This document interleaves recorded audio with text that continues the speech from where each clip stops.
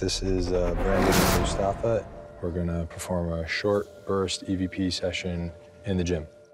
So Mustafa and I were in the gym investigating the reports of two kids were told to be quiet by a man from the bleachers. Do you visit this school often? Do you watch the students play basketball or any other sport?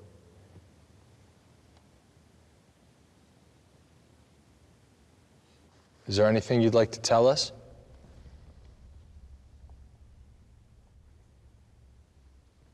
right. Daryl and Kristen, we're in the auditorium, and it is 1:10 a.m. Kristen and I head to the auditorium to investigate the claims of a woman in a dress who has been seen by the custodians up in the uh, balcony. There's no windows in here, so it's not going to be car lights or mm-hmm. anything from the outside. So, what could it be? I think we need to do is we can get up on that balcony from over here. Okay. So, you know, get up there, unless you want to go up there and try to create it and I'll watch, but Well, I'm a lady. there you go. There I am, so maybe I should be up there. Oh, Oh, what was that? That's interesting. Yeah. Is that supposed to happen? We have lost light in the theater. Yeah, this doesn't seem to be sensory lights, Daryl. They just all. Yeah, they all just went out. The interesting thing is they went out slowly. Did you notice that? Yeah, I did notice that. They just all slowly, like, they dimmed. Is someone in here with us? Who's in here with us? If you're feeling up to it, feel free to play with this ball over here or move it for us. Did you hear that? You did.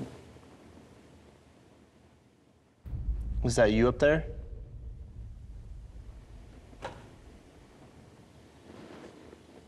You heard that?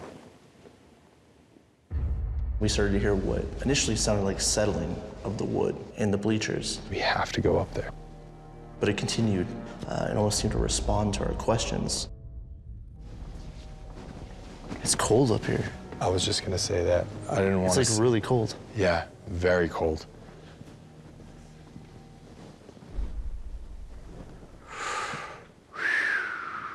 You're right. Yeah, yeah, it's just kind of hard to move up here, man. Is that you making Mustafa feel this way?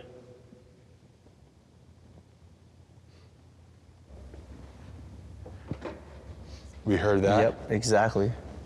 Brandon, are you hearing it on the other side now? Yep. It moved. It moved. I think we're gonna have to go on opposite sides. That's fine with me. I'll head over there. All right. Keep that recorder rolling. So the theater lights were turned on to just be able to see around. And the only way that those lights would go off if somebody actually turned them off from this room. Yeah, okay, so there's a monitor up here. That's what's giving off that light. It could be an electrical problem. Doesn't necessarily mean it's. It could, but the way that they dimmed, I mean, this is the, they, they moved to dim front of the house. Nope. So now none of the lights are going on. Brandon, Yep. There's a lot of wood creaking next to me, man. Directly next to me, and I'm very cold. So Mustafa and I split up. I came to the second set of bleachers over here, and uh, as soon as I sat down, I heard a few noises. Not too long after that, Mustafa started having the same sound right over by him. So, Brandon, something's touching me, dude. what? It's right above me. Coming over there. Dude, my vision's blurry, man. Something's touching my head. Dude, this is crazy. You all right? Yeah, dude, it's it's fine. I'm not like I'm not scared at all. I don't get a bad feeling from it at all. I felt like something went like this over my head like this and was just touching my cheeks like this and then all my head. And I was overcome with emotion.